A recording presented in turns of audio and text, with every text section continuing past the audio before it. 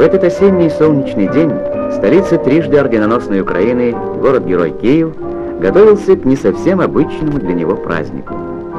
Однако интерес к нему был столь велик, что новый и, как утверждают специалисты, лучший в стране ипподром не мог вместить всех желающих. 12-е всесоюзные соревнования конников, колхозов, совхозов и конных заводов открываются парадом участников. Командует парадом герой Римской Олимпиады, заслуженный мастер спорта Сергей Филатов. Впереди праздничной колонны герой Советского Союза Михаил Кантария.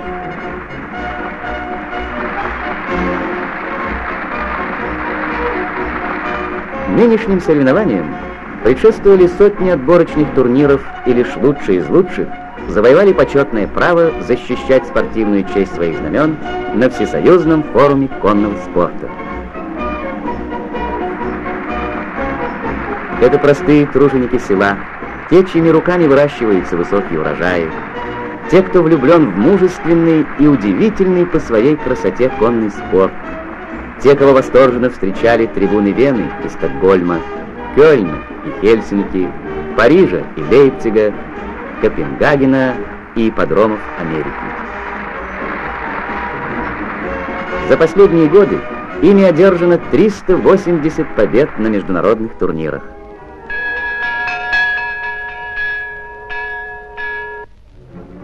Рысистый заезд.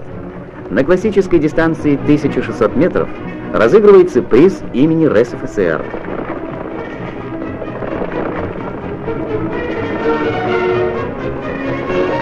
Вперед вырывается четырехлетний жеребец Гравер, конзавода «Культура Воронежской области». Управляемый опытным Федором Рассыпко, он показал время 2 минуты 10,2 секунды.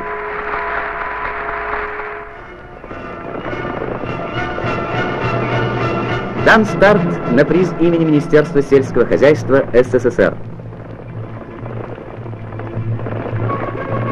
Дистанция 2400 метров.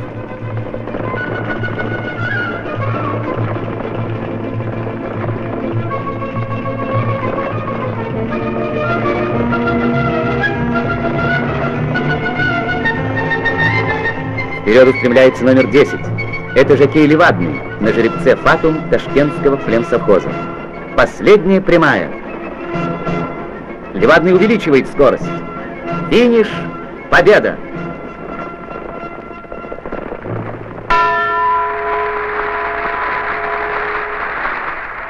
Министр совхоза Украины товарищ Поплевкин поздравляет победителя и вручает почетный кубок.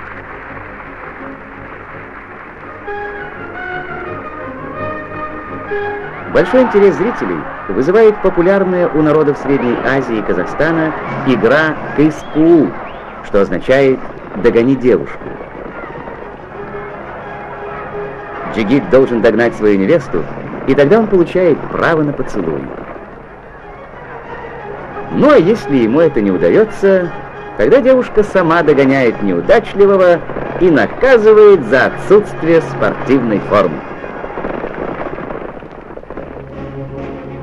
Спортивная игра из Синди. Выступают команды Грузии и Армении.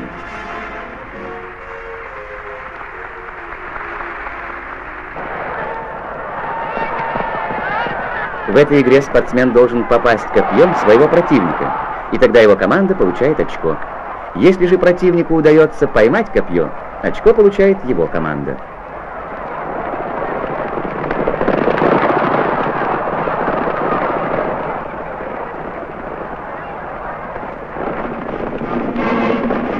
Разыгрывается приз газеты «Московская правда». Скачка для девушек.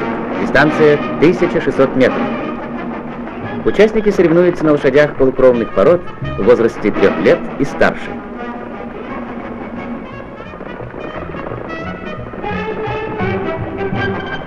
Вперед вырывается представительница команды РСФСР Тумарева. на жеребце-эгоист кони завода имени первой конной армии. Тумарева первой достигает финиша, принеся своей команде еще одно очко.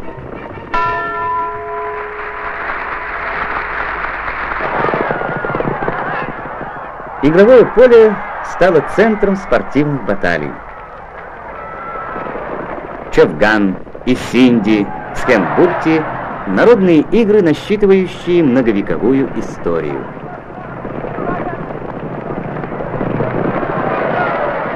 За последние годы на ипподромах нашей страны они получили свое второе рождение. Проследим за ходом спортивной борьбы.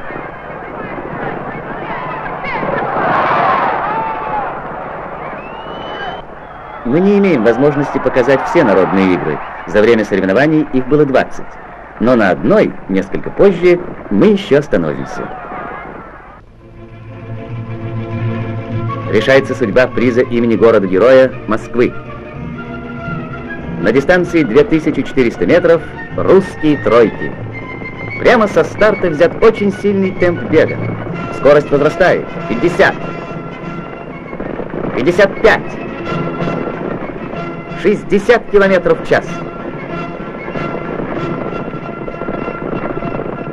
Первое место, а с ним и почетный приз, достался экипажу из Казахстана – во главе с наездником Поповым.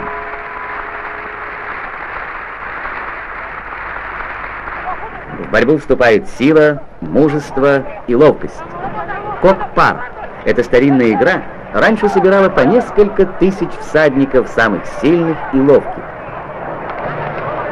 В этой игре победа присуждается той команде, которая наибольшее количество раз за отведенное время доставит тушу козла в свою зону. Обратите внимание, вместе со всадниками в игру вступают и лошади. Без такого дуэта не победить. Команда Таджикистана снова демонстрирует высокое мастерство. На двухкилометровой дистанции четверки горячих скакунов, впряженных в легендарные буденовские тачанки.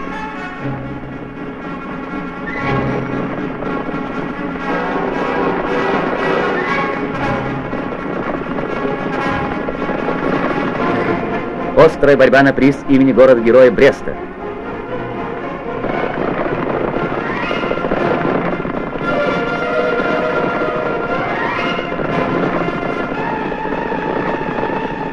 Тачанка конного завода имени Буденова Ростовской области под управлением Савочки первой выходит на финишную прямую и с отличным результатом 2 минуты 47 секунд завершает дистанцию.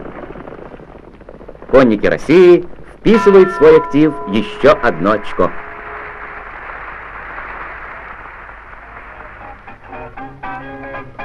Конкурное поле.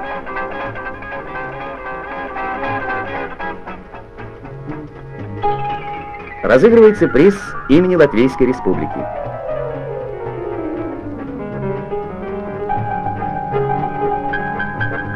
Эти соревнования имеют свою неповторимую эстетику и своих постоянных поклонников.